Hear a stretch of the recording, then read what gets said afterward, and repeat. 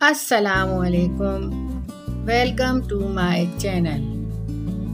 आज आपके साथ शेयर करने वाले हैं बिहारी मक्खनी कढ़ाई।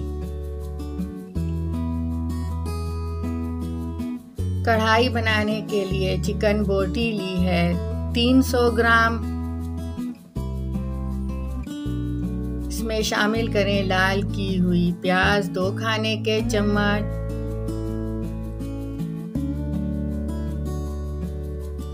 आधा कप दही।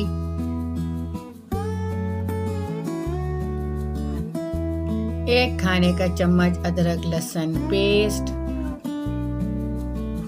दो खाने के चम्मच मायोनीज।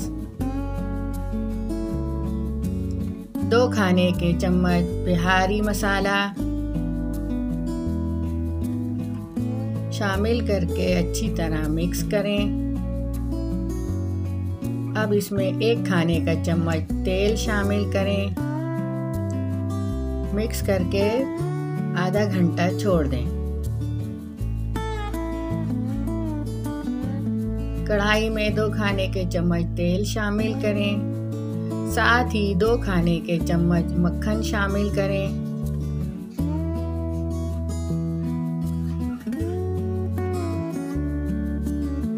चिकन शामिल करें मसाले के साथ ही।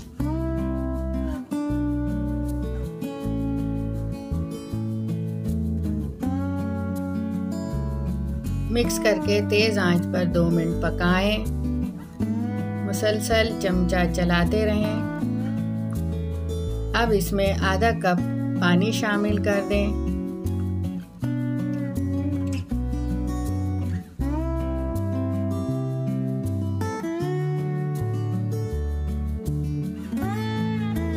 ढक कर 10 मिनट तेज आँच पर पकाएँ।